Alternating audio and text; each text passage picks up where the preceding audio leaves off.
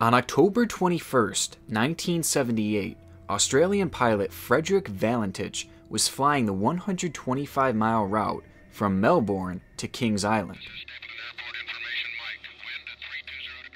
The short flight should not have been a difficult one, as conditions were good and his plane was in full working order upon takeoff. But Frederick would never make it to Kings Island, as not long into his flight, he seemingly dropped off of the face of the earth, never to be seen again. Though that alone makes this an intriguing mystery, what has truly made this case stand out was the final radio transmission that Frederick sent to air control right before his disappearance. His message was frantic but clear. He said something was following him in the sky, something not of this world.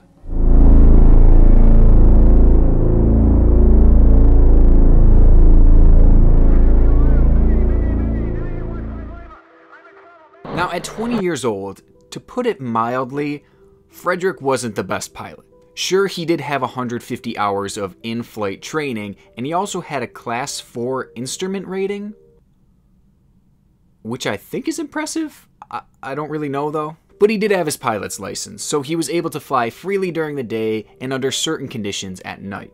So all that might make him seem like a good pilot, but he really wasn't. And I know it sounds like I'm coming at him, but I'm just telling the truth here. And though he was determined to make a living off of his passion for aviation, it really wasn't coming easy for him. With hopes of becoming a commercial pilot, Frederick ended up failing his commercial license examination on five separate occasions, with his most recent coming not even a month before his disappearance. But not only this, in the short amount of time that he had been flying, he had already received three separate citations. Once for straying into a controlled off limits area, and the other two times for flying blindly into a cloud. Which, how the hell could they have caught him doing that? Like, that is what I want to know. But the most recent of these citations actually ended up landing him in legal hot water, and there was actually a good chance that he was going to be prosecuted for it. And I'm sure the punishment wouldn't have been too terrible, but it definitely would have hindered his already struggling aviation career. But despite his flying struggles, he still had his license and he was still able to fly. And at 6:19 p.m. on October 21st, 1978, he took off for Victoria's Moorabbin Airport.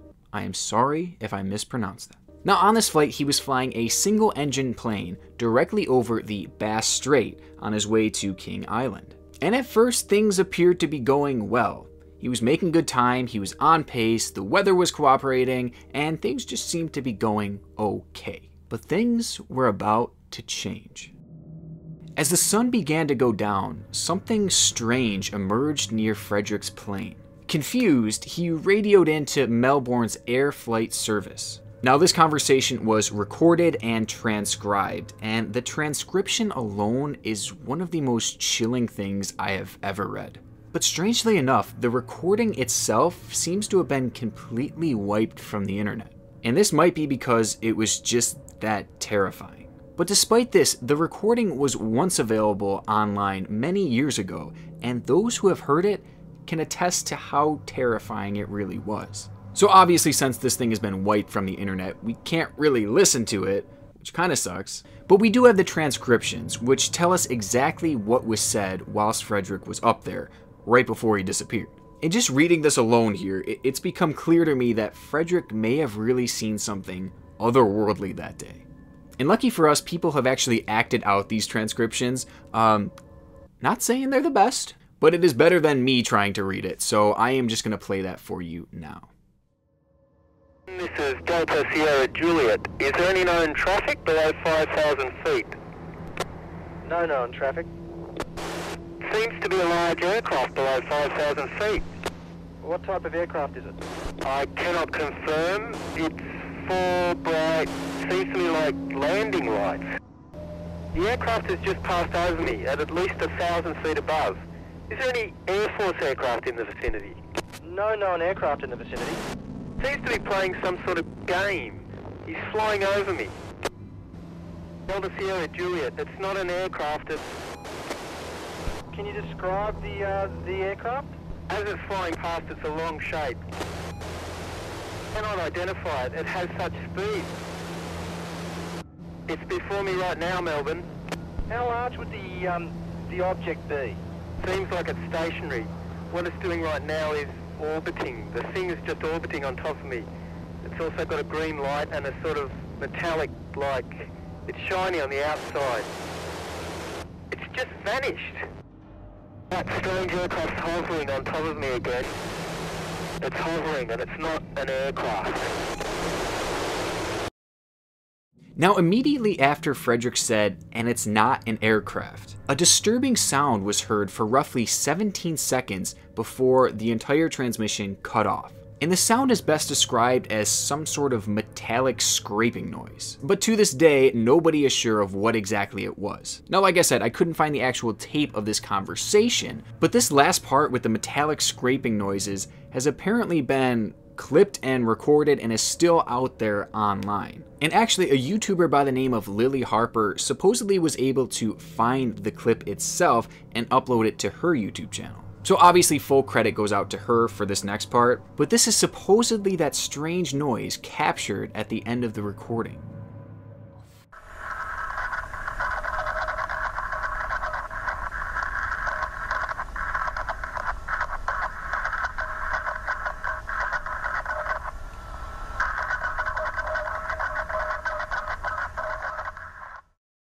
Now, this transmission was the last that anyone heard of Frederick, as he disappeared immediately after. He never reached Kings Island, and a full rescue team was sent out in the assumption that he had crashed his plane somewhere in the water.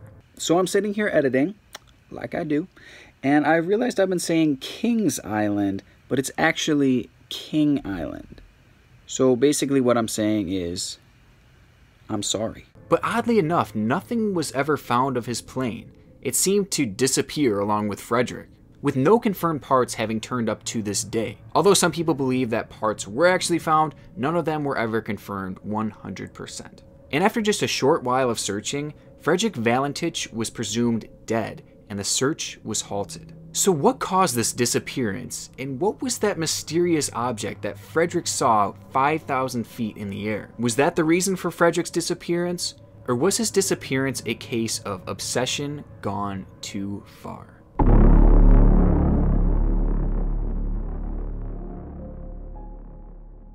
Now, whenever we look at a disappearance of this caliber, we have to at least consider the possibility of suicide. And in this case, it actually kind of makes sense. I mean, Frederick had this dream of becoming a commercial pilot, but he kept failing over and over again.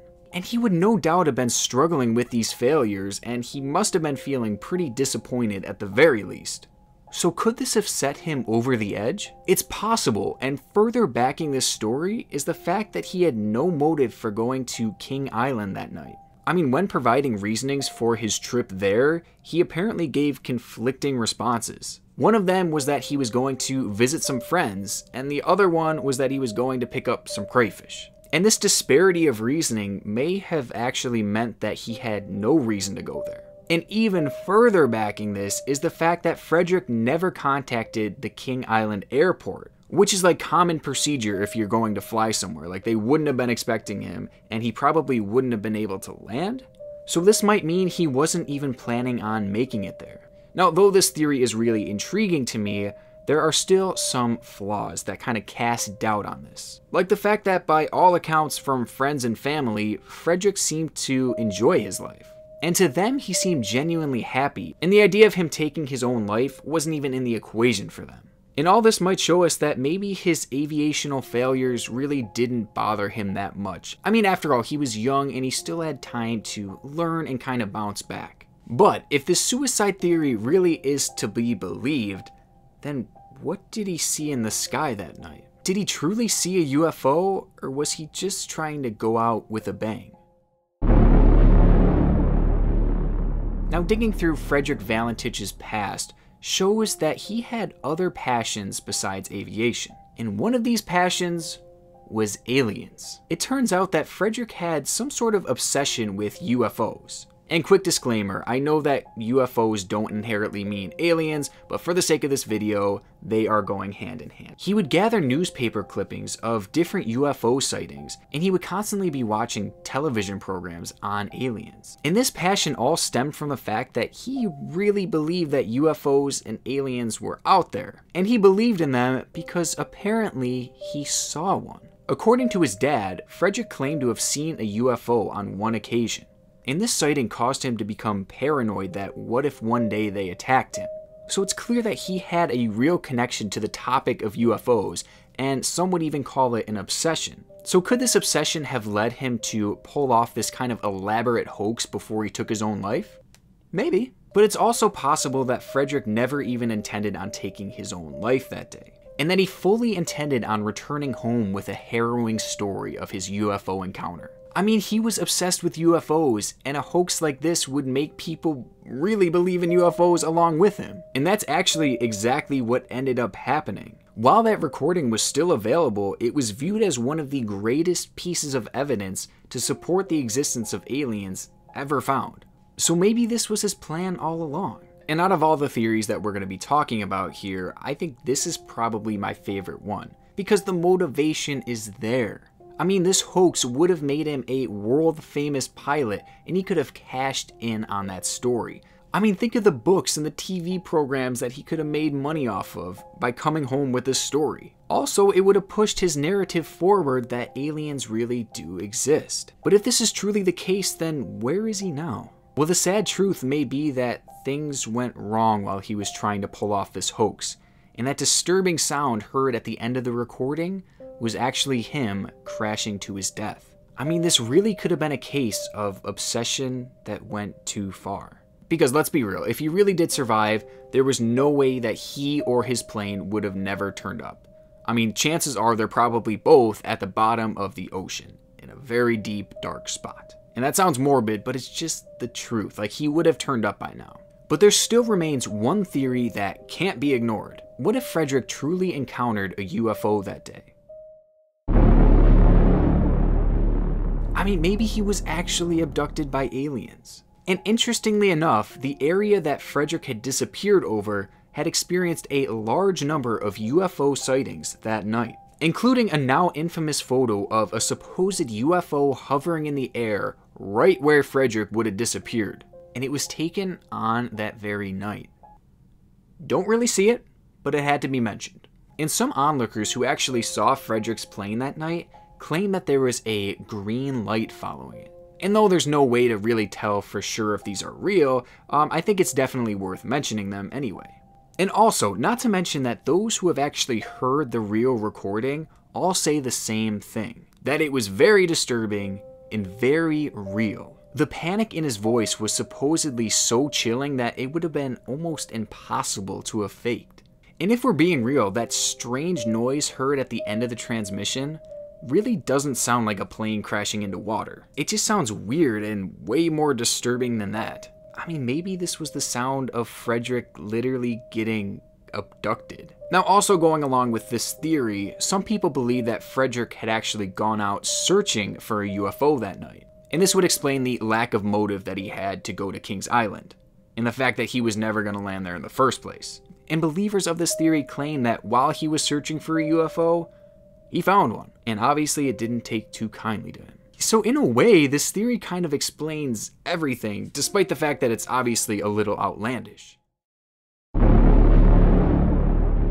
Now, this is a fairly popular theory nowadays, but I'll admit it, uh, I'm not really feeling it. The theory is that the UFO that Frederick thought he saw that night was actually just an optical illusion. And some people believe that he was actually just looking at his own plane's reflection because he was flying upside down and he didn't notice.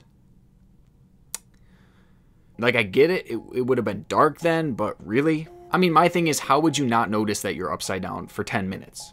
I'm no pilot, but come on. And another theory is that the UFO was actually just the stars. He was looking at the stars and he thought they were all, it was a UFO. And maybe because he was such a hardcore believer in UFOs, it kind of caused his mind to fill in the blanks about it. I mean, like, I get it.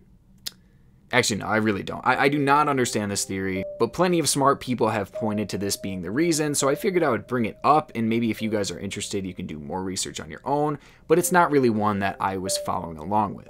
And to me, this actually sounds like kind of a reach, but I'm also kind of on board with the UFO theory, so take that for what it's worth. The case of what happened to Frederick Valentich is one that leaves us with more questions than answers. Whether it was a prank gone wrong or an actual case of alien abduction is yet to be known and probably will never be known unless more evidence comes forward. But until then, we're left to wonder what happened to Frederick that night. And we're also left to wonder if maybe somewhere he's still out there.